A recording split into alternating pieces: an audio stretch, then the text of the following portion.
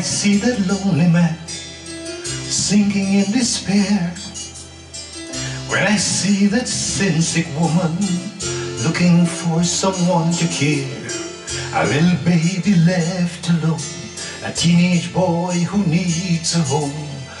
Father, Father, give me a word.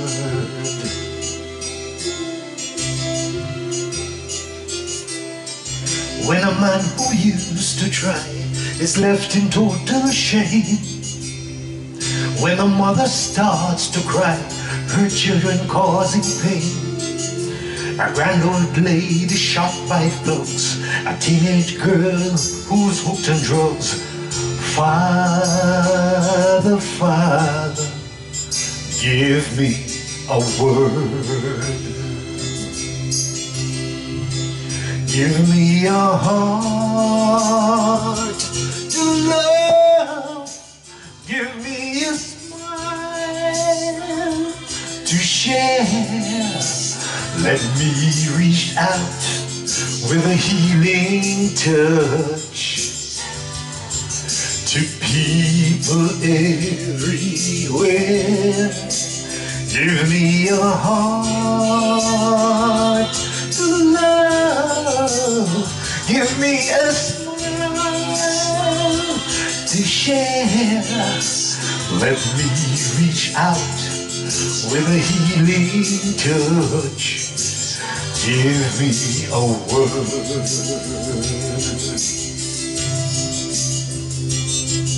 A right word at the right time can mend a broken heart. Give hope to a dying soul and set the captives free. Give me a heart to love. Give me a smile to share. Let me reach out with a healing touch to people everywhere. Give me a heart to love. Give me a smile to share. Let me reach out with a healing touch. Give me a word. Please, oh please, let me reach out with a healing touch. Give me a word. Let me reach out with a healing touch. Give me a word.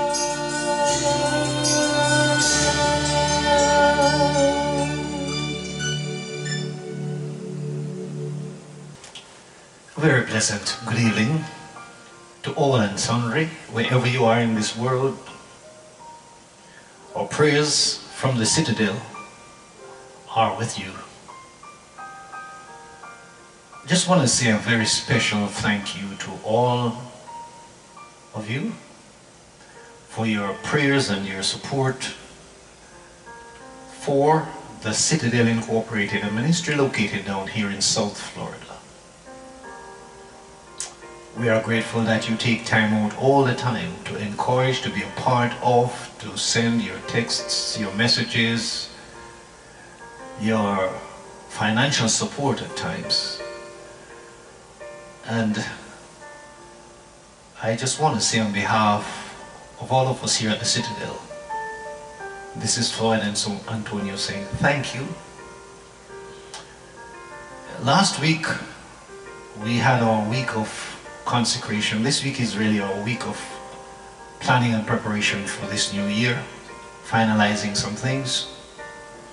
And what a glorious time it has been in the presence of the Lord last week. And thank you to all of you who join in our corporate fast. We are resuming various things in the background. I just want to ask the Lord to bless you tonight. I know here in these United States of America, yesterday was Martin Luther King Day. And I trust that we will be able to look at truth in their various areas and decide which truth is the real truth. You know my position on that.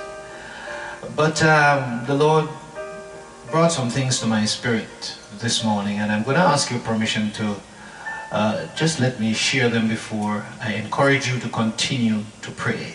I know many people are still on consecration, particularly with fasting, and let the Lord tell you when to stop. Moses went up to 40 days. Father, as we gather around your word and to seek to communicate with you, I ask, O oh Lord, that you would be the voice, be the power, be the presence in our midst to lead and direct. These mercies we ask through your Son, our Lord and Savior Jesus Christ. Amen. Please allow me to read for you, first of all, a few verses from St. Matthew chapter 25, and I'll be reading the New International Version from verses 31 through to the end. A few short verses. Matthew 25, I start at 31. When the Son of Man comes in his shining greatness, he will sit down on the throne of greatness. All the angels with him, all the nations of the earth will be gathered before him. He will divide them from each other as a shepherd divides the sheep from the goats. He will put the sheep on his right hand, right side, but the goats he will put on his left side, left hand. Then the king will say to those on his right side, Come, you who have been called by my father. Come into the holy nation that has been made ready for you before the world was made. For I was hungry and you gave me food to eat. I was thirsty and you gave me water to drink. I was a stranger and you gave me a room. I had no clothes, and you gave me clothes to wear. I was sick, and you cared for me. I was in prison, and you came to see me. Then those that are right with God will say, Lord, when did we see you hungry and feed you? When, when did we see you thirsty and gave you a drink? When did we see you a stranger and gave you a room? When did we see you had no clothes and we gave you clothes?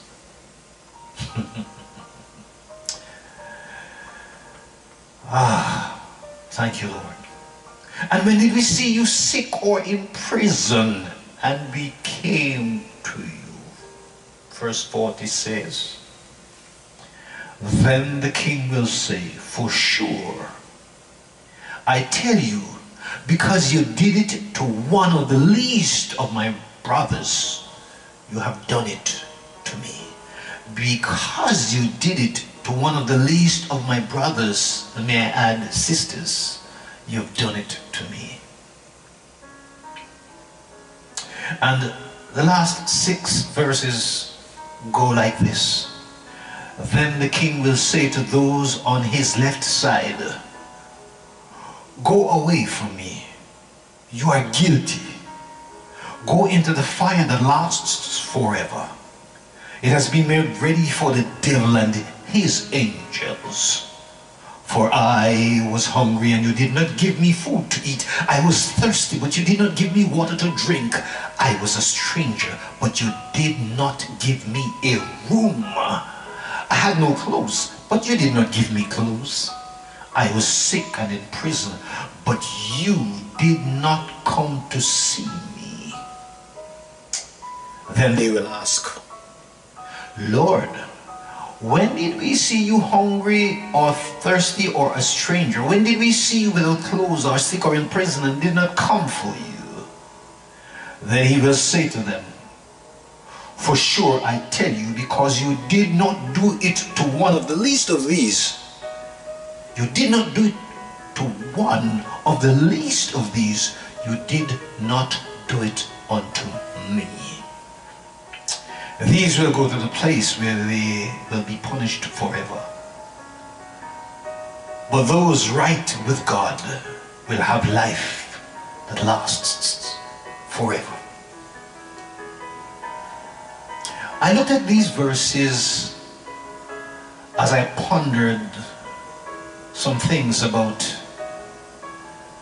the late Martin Luther King Jr. And this is the kind of politics that I encourage people to get in. Where you look at politics from the kingdom of God. We are getting ready here in these United States for a transfer of government. And the world knows all of what's happening in America, it would seem. And I often say to people, without at least two teams, without at least two sides, democracy is no longer democracy. It will become something else, such as a dictatorship. So, as we prepare to pray even more for our country, to pray for those on the left side, those on the right side, those for this leader, those for that leader. May I ask you to answer this question. Are all of us God's children? With that question in your mind, allow me to share as we just reflect on what took place yesterday in the celebration of Dr. Martin Luther King Jr.'s uh, birthday or holiday, I'm going to read an excerpt from one of his sermons. Not going to preach it, not going to interpret it, just going to read just a small portion. It's from the Drum Major by Dr. Martin Luther King Jr. And I begin to read. If any of you are around when I have to meet my day, I don't want a long funeral. And if you get somebody to deliver the eulogy, tell them not to talk too long. And every now and then I wonder what I want them to say. Tell them not to mention that I have been a Nobel, Peace Prize winner. That's, that isn't important. Tell them not to mention that I have three or four hundred other awards. That's not important. Tell them not to mention where I went to school. I'd like somebody to mention that day that Martin Luther King Jr. tried to give his life in serving others. I'd like for someone to say that day that Martin Luther King Jr. tried to love somebody. I want you to say that day that I tried to be right on the war question. I want you to be able to say that day that I did try to feed the hungry. And I want you to be able to say that day that I did try in my life to clothe those who were naked.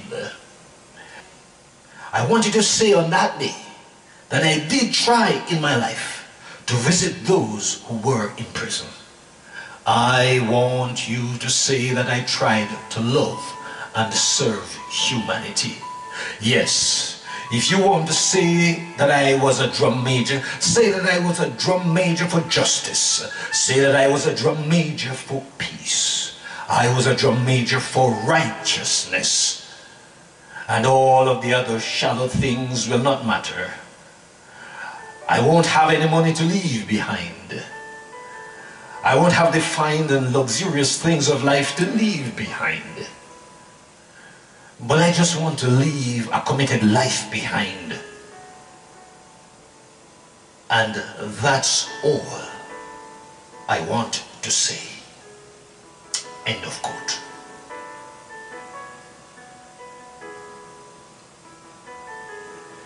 As we think on the life that this great leader led, as we think of what's happening around the world this very moment, as we reflect on what is happening in these United States of America,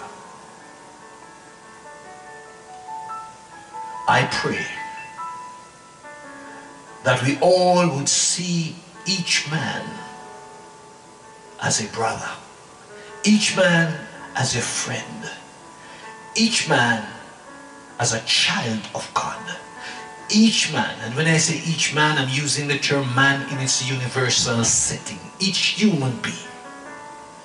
I pray that we will see each man as a being created in the image of God who deserves to be on planet Earth, who deserves to be in this here country. For the earth is the Lord's and the fullness thereof. So, as we consider the matter of prayer, I ask some, I have some questions to ask myself in your presence. And I dare say, I would ask you those questions as well. If you say that you're a child of God, if I say that I am a child of God, how can I promote killing? when it's against God's law. Whether you're killing an unborn baby, killing a young child, killing an adult, and then go and pray and say that I'm a child of God. If we are children of God, why then can we not sit down and behave like we are? who we are, intelligent beings. If you are a child of God, and I don't agree with you, or if you don't agree with me, who gives me the right to castigate you, to belittle you, to hurt you, to insult you, to do all manner of evil against you? and vice versa. How then can we break all the laws of God except the ones that we fall in love with? You know, some people will fall in love with the one that speaks about the Sabbath and that's all they focus on. Some will speak of the one that says thou shalt not kill and that's the one they focus on. And some will focus on stealing and that's all that's important. But alas, if they all were not important, the Father would not give them to us. And I believe that this could be a reason why God's word is so powerful. Because he says, for all have sinned and come short of the glory of God. In another example, when they were about to kill, to stone somebody who was caught in adultery, a woman, and everybody, the righteous ones, were about to, to stone her, the question that Jesus asked, which of you in this gathering is without sin? Let him or her cast the, the first stone. And so, if you have no sin, go ahead and cast your stone. But remember this, that if you say you have no sin, you are a liar and the truth is not in you. But if you confess your sins, He is faithful and just to forgive you of your sins and to cleanse you from all unrighteousness. It does sound to me like all of us, every one of us, need to be praying.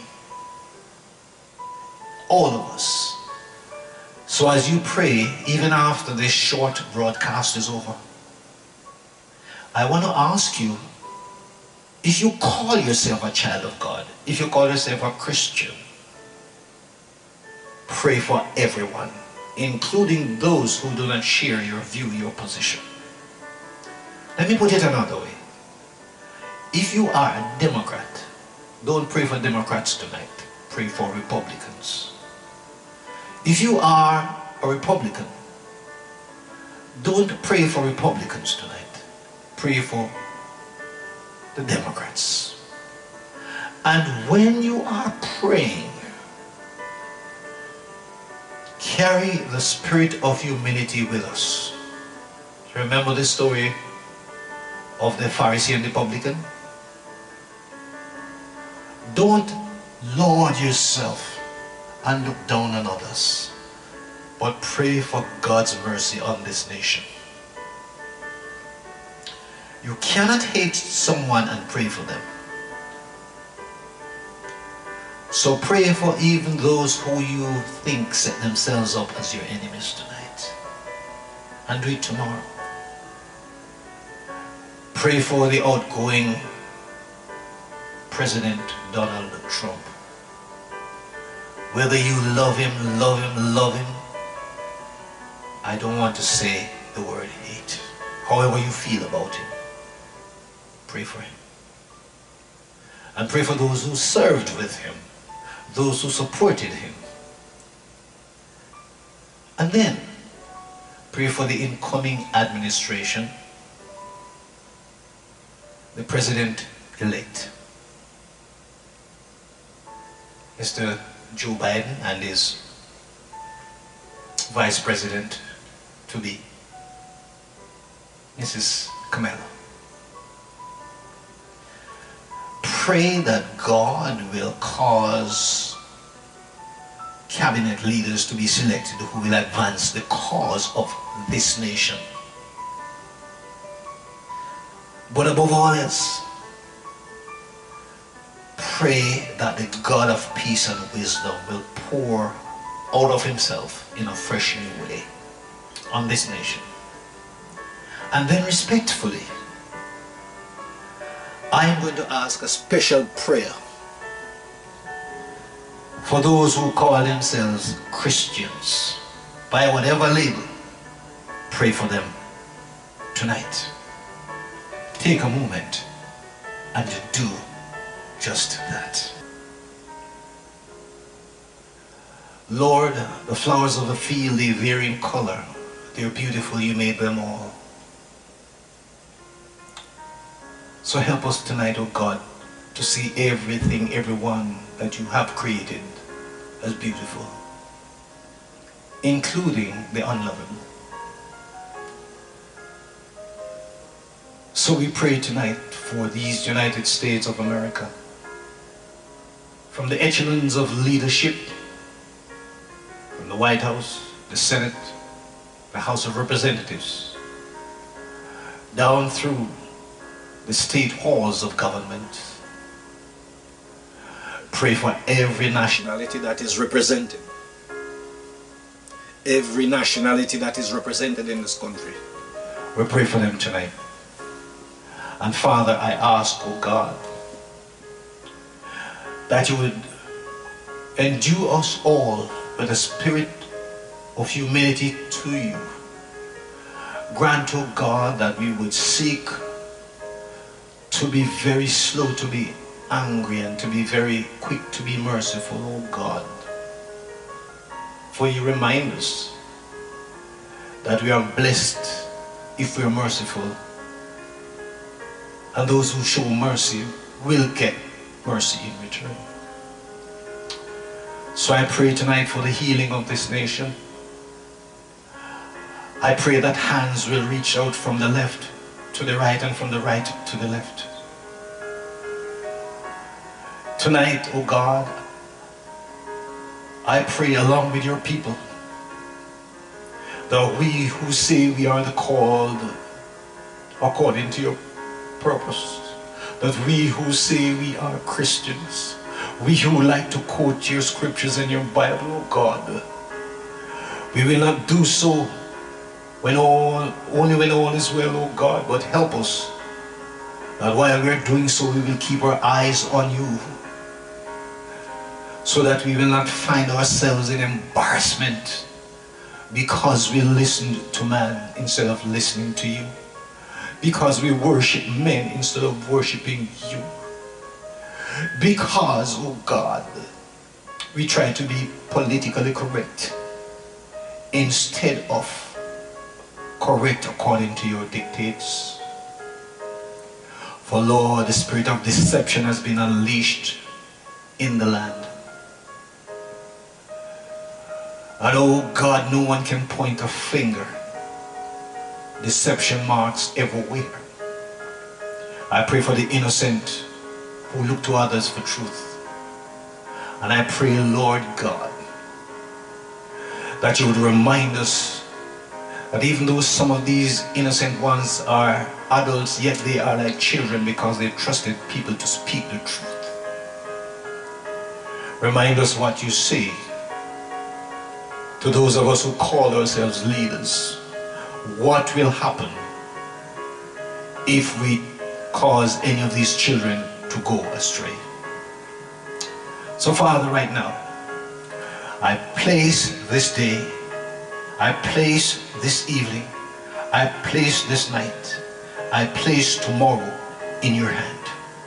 And I ask, oh God, that you, through the power of your glory, you through your divine power even now, oh God, would begin to orchestrate a change in these United States of America. So that instead of people running away from your church, they will come to find your true church, your ecclesia. And I pray for spiritual leaders that Lord, we will not seek to lead like ordinary men, but Lord, we will seek to point people to you, the author and finisher of our faith. For Lord, without you we are nothing. So God, have mercy upon these United States of America. I pray for a change of heart and a facing of truth from all sides of the religious and the political spectrum. I pray, O oh God, that people will seek, that we will seek to humble ourselves so that you can lift up your people. And Lord, I pray, O oh God, that if troubles come to some Others will not gloat over it. That we will not laugh at our brothers or our sisters' demise. But that we will love you and serve you. Have mercy. In Jesus' name I pray. Amen. Amen. Before I go this evening, I want to ask you to keep on praying. Pray in the night, pray in the morning. Pray as the Spirit leads you. Pray for your family. Pray particularly for your children. Pray for a spirit of understanding and discernment. Pray for courage to face the truth. And pray that America will be a beacon of justice, truth, righteousness, holiness. Speak it into being and endeavor to do your part. Remember the passage that was read at the start. Remember the excerpt from the late, great Dr. Martin Luther King. And I leave you tonight I'm not going to sing, you hear me sing all the time. I want you to focus on these words. It's a very old hymn, I can't remember the author right now. But it says, if I can help somebody as I pass along, if I can cheer somebody with a word or song, if I can show somebody that is doing wrong, then my living will not be in vain. And he says, if I can do my duty as a Christian ought, if I can bring back beauty to a world of naught, if I can spread love's message as the Master taught, then my living will not be in vain. And the refrain just says, then my living will not be in vain. No, my living will not be in vain. If I can help somebody as I pass along, then my living will not be in vain. The Lord bless you during this initial month. And may His power and His presence dominate your entire sphere of existence, especially in 2021. I pray this in the name of Jesus, who is the Christ.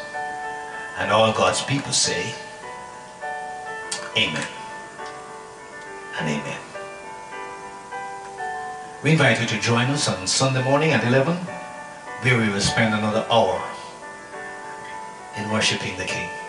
This is Floyd Antonio on behalf of the Citadel saying, keep praying and hold on to your faith, for our God is faithful.